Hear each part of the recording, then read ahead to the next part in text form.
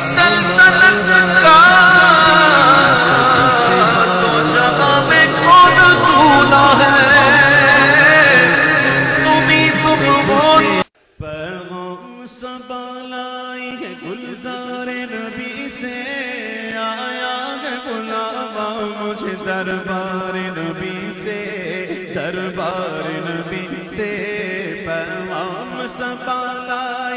گلزار نبی سے آیا ہے بلاوا مجھے دربار نبی سے، دربار نبی سے پیغام سبا گلزار نبی سے آیا ہے بلاوا مجھے دربار نبی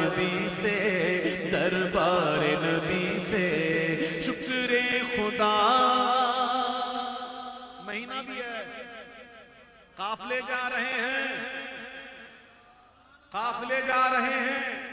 جانے والا کیا کہتا ہے کہ شکر خدا کہ آج گھڑی اس سفر کی گئے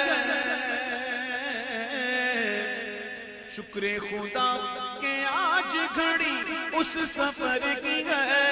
جس پر نثار جان پلانو سفر کی ہے۔ آیا ہے بلاوا مجھے دربار نبی سے، دربار نبی سے۔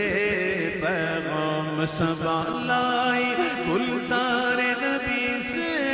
آیا ہے بلاوا مجھے دربار نبی سے۔ دربار نبی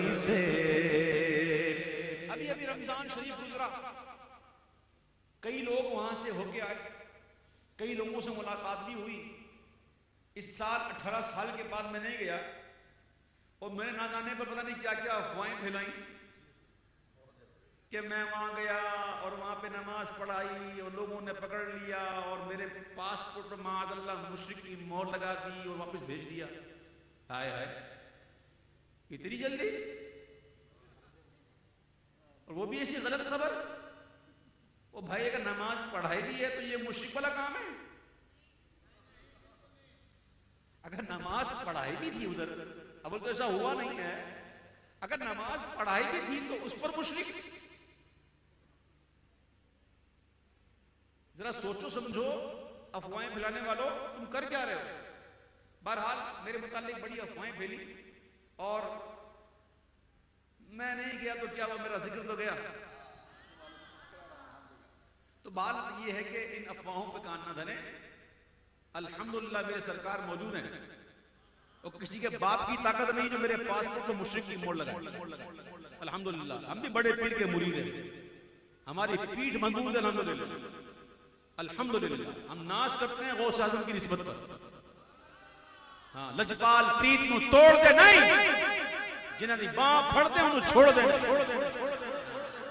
یہ اور ہوں گے کہ ڈر جائیں ہم نہیں ڈرتے۔ الحمدللہ۔ ہم آج بیٹھے ہوئے اتنے بڑے جلسے میں بیٹھے ہیں۔ الحمدللہ۔ بہرحال وہ مجھے ملے اور کہا، اوہ ہو ہو اس بار تو بہت گرمی تھی بھائی۔ بہت گرمی تھی۔ اور ہوٹلیں بہت مہنگی تھی ہم نے دور رہائش کی تھی۔ چل چل کے پاؤں تھک جاتے تھے۔ اچھا موسم بھی صحیح نہیں تھا۔ میں تو صحیح نہیں تھا۔ ہاں؟ وہاں کا موسم ٹھیک نہیں تھا تو تو ٹھیک نہیں تھا۔ بخار آ گیا، یہ ہو گیا، وہ ہو گیا۔ میرے امام ایسے کو تمبی کر رہے ہیں کہ عاشق بنتا ہے اور باتیں ایسی۔ نانا، تجھے زیو نہیں دیتی۔ عاشق کی باتیں ایسی نہیں ہوتی۔ میرے امام استفہامی انداز پہلے پوچھتے ہیں، پھر جواب دیتے ہیں۔ کہ گرمی ہے، تپ ہے، درد ہے کل مت سفر کی ہے۔ نا شکر، یہ تو دیکھ، عظیمت کدھر کی ہے۔ آیا کہ بلاوا مجھے درد۔ بی سے پیغام سبا لائی ہے، گلزار نبی سے۔ دربار نبی سے۔ ہاں۔ عشق کا رنگ دکھاؤں۔ سارے عاشق ہیں کہ نہیں؟ پہلے یہ بتاؤ۔ بیٹھے ہوں عقل کے مارے۔ بیٹھے ہوں عقل کے گھوڑے دوڑانے والے۔ اور باتیں میں عشق کروں۔ یہ جچے گا نہیں۔ پہلے بتاؤ عاشق ہو کے نہیں۔ اچھا اچھا بیٹھے اب یہ بندہ وہ بندہ اٹھائے جو عاشق نہیں ہو۔ کوئی نہیں۔ الحمدللہ۔ سارے عاشق ہیں۔ آپ سنو عشق کی بات۔ عشق کے انداز میں امام کہتے ہیں ہم گرد کعبہ پھرتے تھے۔ کل تک اور آج ہو جب تک مکے میں رہے۔ گردے کعبہ پھرتے رہے، اب بلاوا آ گیا، مدینے سے بلاوا آ گیا۔ ہم گردے کعبہ پھرتے تھے کل تک، اور آج وہ ہم پر نثار گئے یہ ارادت کدھر کی گئے آیا گے بلاوا مجھے دربار نبی سے، دربار نبی سے۔ پیغام سبا لائی گے گلزار نبی مجھے دربار نبی سے، دربار نبی سے۔ کالک جبی کی سجدہ در سے چھڑاؤ گے۔ حجر اسود، کالا پتھر۔ اسود کہتے ہیں کالے کو؟ وہ حجر اسود جو جنت سے آیا۔ آیا تو سفید تھا۔ اب ابید ابید تھا، اب اسود ہو گیا۔ اب یہ سنگ حسود جو ہے نا، وہ مدینے کے مسافر سے کچھ کہہ رہا زبان حال سے۔ زبان حال سے کہہ رہا ہے کہ کالک جبی سجدہ در سے چھڑا مجھ کو بھی لے چلو۔ یہ تمنا حجر کی ہے۔ آیا ہے بلاوا مجھے دربار نبی سے، دربار نبی سے لائی، گلزار نبی سے آیا ہے بلاوا مجھے دربار نبی سے، دربار نبی سے۔ ہم جائیں اور قدم سے لپٹ کر حرم کہیں۔ واہ واہ، اے مدینے کے مسافر، تیری شان کو دیکھ۔ ہم جائیں اور قدم سے لپٹ کر حرم کہیں سوپا خدا کو تجھ کو یہ عظمت سفر کی گئے آیا گے بلاوا مجھے دربار نبی سے، دربار نبی سے۔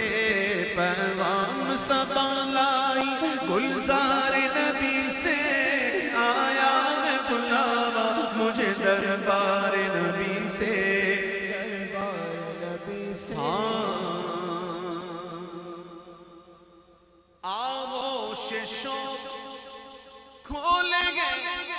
جن کے لیے حتیم۔ حتیم پتہ ہے نا کسو کہتے ہیں؟ رام سبا لائی گلزار نبی سے آیا ہے بلاوا مجھے دربار نبی سے۔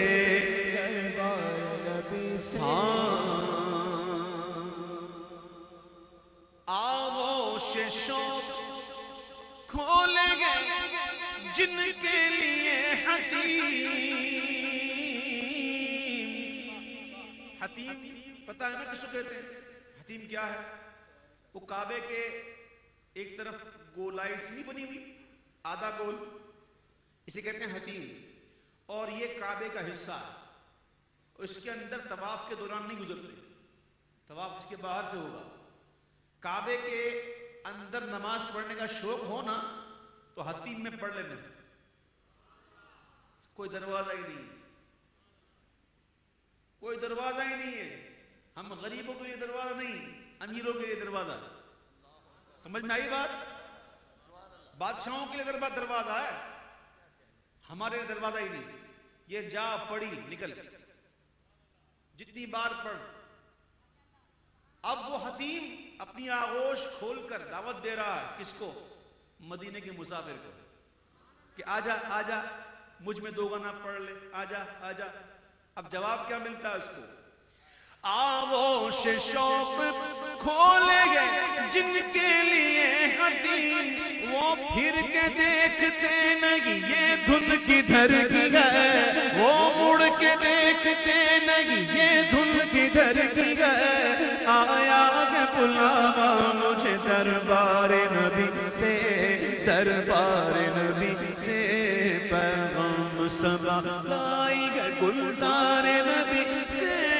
آیا ہے بلاوا مجھے دربار نبی سے۔ دربار نبی سے